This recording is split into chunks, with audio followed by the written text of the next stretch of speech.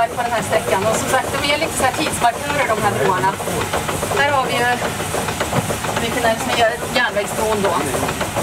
Järnvägen kom ju till Loxberga i början på 1900-talet. 1910 kan man väl säga att det var klart.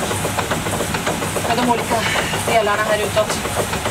Och det var ju då, då hamnar ju centrum här. Så är det ju med, med hur samhällen växer upp. Att det är ju där man färdas, där man kan eh, frakta saker och färdas själv.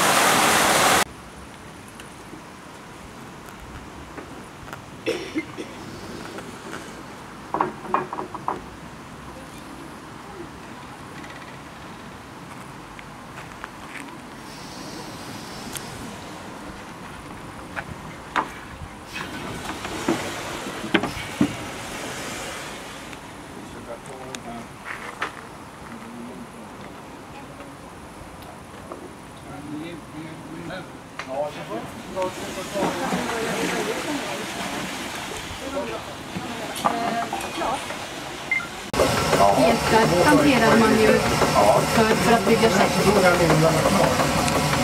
De växer långsamt och blir väldigt bra träd. Så det är väldigt bra att bygga. bygga.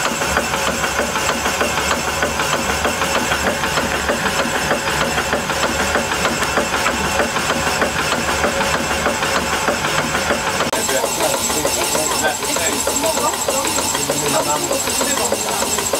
precis. Och det är